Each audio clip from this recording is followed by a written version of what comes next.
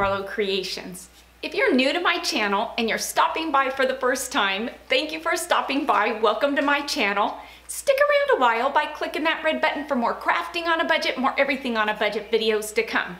And if you click it again when the bell appears, YouTube should notify you every time I'm uploading a new video, depending on the option that you choose in the drop-down menu of the bell. If you're interested in following me on social media, you can find those links in the description box below. So what do I have going on for you for today? Today I am bringing to you another DIY using the wood plaques that you can get from the Dollar Tree. I thought it would be fun to kind of do a series on these showing you just how easy it is to actually decorate these. There are so many ways around decorating these wood plaques that you DIY yourself even if you don't feel like you're artistically inclined. And so that's what I'm gonna be bringing to you, some stinking adorable ideas on how you can use these.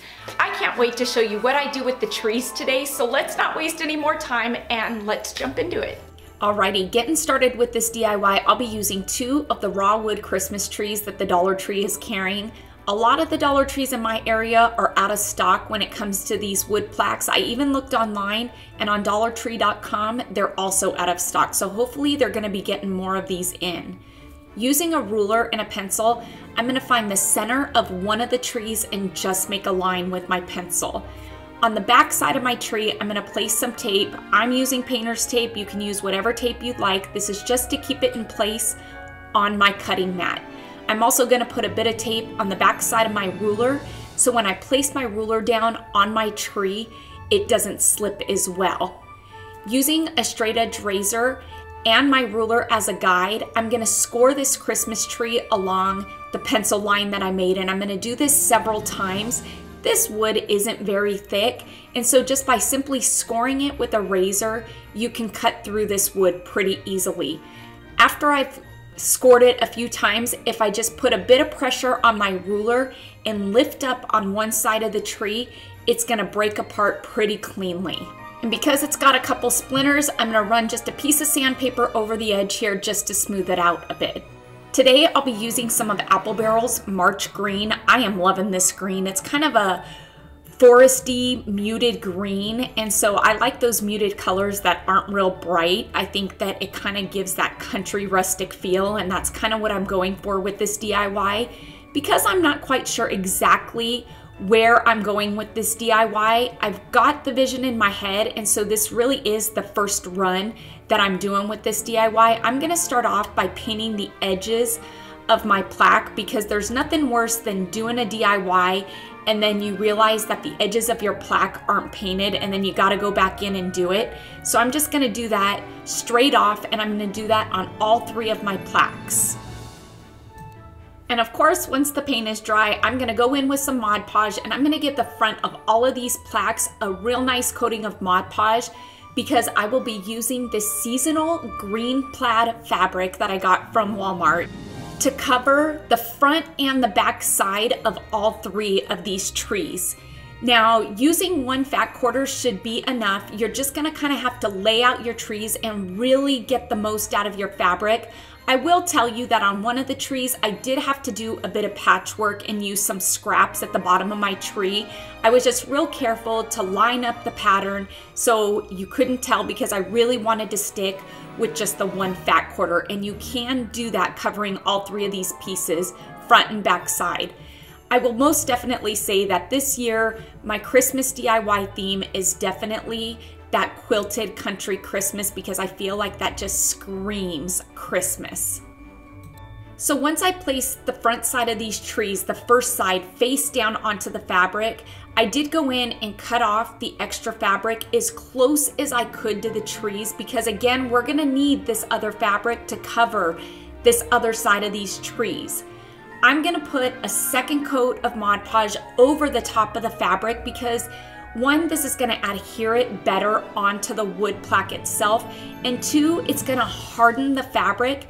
So when we go to cut the extra fabric off, once the trees are dry, it's gonna give you a nice clean cut. I'm gonna place these in the oven once I've got this second coat of Mod Podge on for about 20 minutes at 135 degrees because that's as low as my oven goes. And it's really gonna speed up the drying process and allow me to move on with this DIY a bit quicker than normal.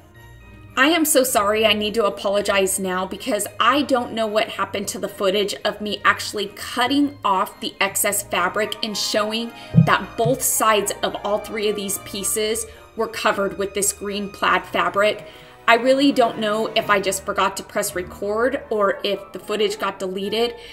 But moving on, all three of the pieces of trees, the two halves and this whole tree, are covered with this fabric on the front and the back side.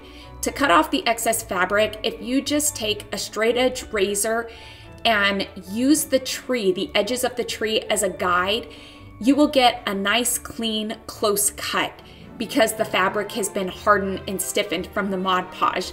I find that if you try to use scissors, you don't get as close of a cut and you don't get a clean cut as well. So once I got all the fabric cut off, now I'm gonna go in with my white puffy paint, which seems to be another favorite crafting tool that I'm using this Christmas. I'm gonna add some snow to the edges of the trees. It's real easy to do and puffy paint is fairly inexpensive because you can get this bottle, I believe, for under $3 at Walmart. And this is the giant size bottle, not the trial size. The trial sizes I think are under a dollar. And so I'm gonna go in on both sides of all three pieces of this tree and I'm gonna add snow. So really it's gonna be six sides that you're adding snow to if that makes any sense. This puffy paint dries pretty quickly and you can pop it in the oven for about five minutes and it'll speed up the drying time. For the trunk of the tree, I'll be using Apple Barrel's Burnt Umber. This is a real nice rustic brown, and I'm just gonna paint right over the fabric. I figured it was easier just to cover the whole tree than not to, and so you can just paint right over the fabric pretty easily because of the Mod Podge. And again, I'm gonna do the trunk on all six sides of the tree, which is the two halves and the whole. Using some red puffy paint, I figured instead of adding ornaments to this tree, I would add berries. I love the look of berries. I just wasn't really sure if I wanted to use the puffy paint or actually use the foam berries that you can get in the bunches at the Dollar Tree. But when I thought about the overall time and keeping this piece for years to come, I didn't want to worry about the berries falling off and breaking off and replacing them. And so I figured the better way to go was just to add the puffy paint berries because they're not gonna come off. And it's still gonna give me the look and the character, the dimension, the texture that I'm looking for for this DIY. And so I'm gonna add berries to both sides of all three trees. All three pieces of my tree are done on both sides. All that's left to do is to put this tree together and I cannot wait to show you how stinking cute this looks. I'll be using E6000 to glue my pieces together because I want a real sturdy glue. I don't feel like hot glue is gonna hold this together the way it needs to be held and I don't wanna worry about it breaking apart. So E6000 is the glue for this DIY that I'm gonna be using. I'm gonna place some of the E6000 along this inside edge of the half tree. Now, the trick to E6000 is to let it set for a couple minutes to really let the glue get tacky. If you place your piece as soon as you put the glue on it, it's not gonna be as tacky and hold together as well as if you just let it set for about two or three minutes. The glue will get tacky and then it is easy to place and it will stay in place a lot better. Once I've got my piece in place, I'm just gonna place a bottle here just to hold it up and let this E6000 cure.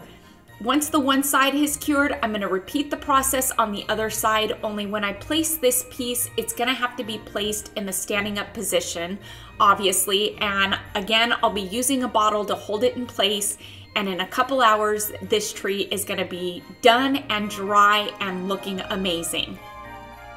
Because I'm going for that country rusted quilted feel, I didn't want to top my tree off with a star. If you like the look of a star, by all means, I say do it. That is the best part about DIYing is you take somebody's idea and you make it your own, you put your own twist on it. I felt like the perfect topping to this tree would be one of my twine bows. This would not be one of my creations if I did not somehow incorporate twine or burlap into this. And so using Dollar Tree's twine, you can very easily make a thicker bow just by making it about eight strands thick like I did here. And using some hot glue, I'm just gonna place it right here at the top of my tree, finishing off this DIY, giving us a 3D tree. I am loving the look of this tree. After I did the first sheet, I had this idea of taking some of Dollar Tree's moss sheets an alternative to their moss sheets, because I know a lot of Dollar Trees don't carry them right now, is using this moss roll that you can get at Joann's, Michael's, Walmart for about $10 and I covered the wood plaques with this moss. I felt like this gave it such a real tree feeling. I loved the look of this. And then of course I went in with the red puffy paint and added some berries and topped it off again with a twine bow. What's great about doing these DIYs is that you just take an idea from someone, you make it your own, you put your own twist on it, and with this DIY, it is such a versatile piece because it really can be made to suit any decor style. I think that these trees are such a fun budget friendly piece to add to your decor this Christmas season. And what's great about these is we just took a flat Christmas tree and gave it character, gave it dimension, and actually made it a 3D tree for under the price of about $5. How fun is that? It's a different way of using these trees. It's giving you, I guess, a 3D type look, a different look, and I wish that they had these trees in different sizes because it would kind of be fun to have a set of them in different sizes.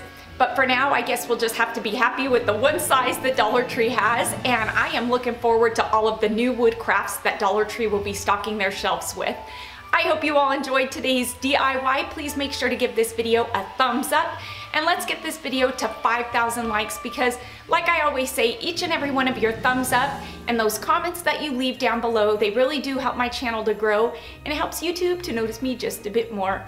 Until next time, everybody, I hope you have a fantastic day. Happy crafting on a budget and bye for now, everybody.